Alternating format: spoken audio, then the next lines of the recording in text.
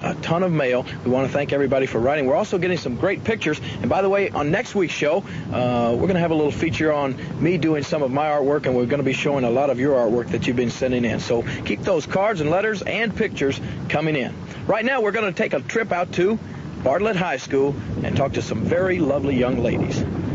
This is one of the most pleasant uh, opportunities to do an interview that I've had so far. Sitting here with the well, the seniors of the Bartlett cheerleading squad. And uh, before we get going here, uh, how about you girls introducing yourselves? Jennifer Catherine.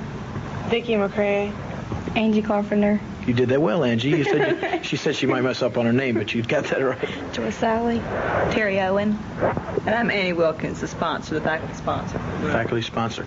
Okay. Um, first of all, quite uh, quite an impressive record as far as cheerleaders go. For the past, is it four years in a row, you've uh, placed in the national finals, and last year, uh, what was it last year?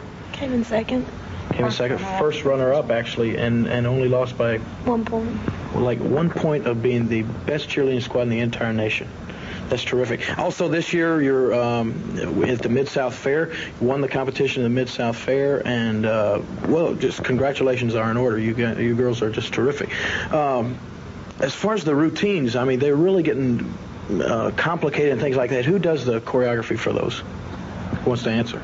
We we do the choreography mostly ourselves, and we have a coach named Rhonda Davis, and she was a former Bartlett cheerleader she comes in and she helps us and polishes everything up. Mm-hmm. One one question I've always had, and maybe you can answer this. I, like if I watch an NFL football game or something, say, say the Dallas Cowboy cheerleaders, even when their team is losing, they always look happy and they're always. Uh, uh, it's almost like they don't pay attention, or is it is it that is it that uh, you are paying attention and it's hard to be happy, but is that what you need to do uh, to try to keep the fans' enthusiasm up? Is that it, or what? Mm-hmm. Fans and the players themselves. Mm-hmm. So y'all are happy no matter what. I mean, or at least you appear to be happy, right?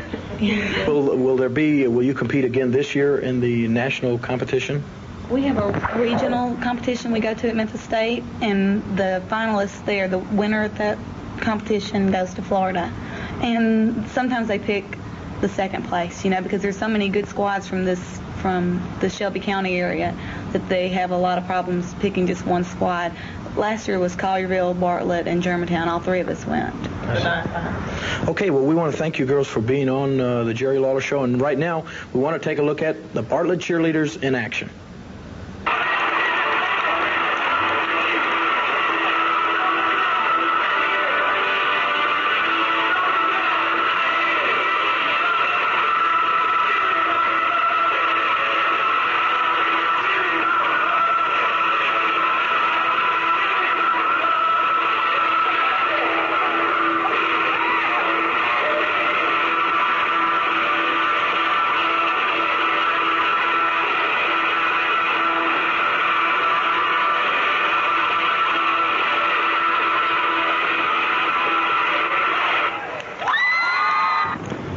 You know, if those girls were right out here in front of me doing some cheers, it would make this day complete. We want to wish them a lot of luck in the upcoming national competition, the Bartlett High School cheerleaders. And we want to tell you to stay right where you are because we'll be back with more of the Jerry Lawler Show right after these words.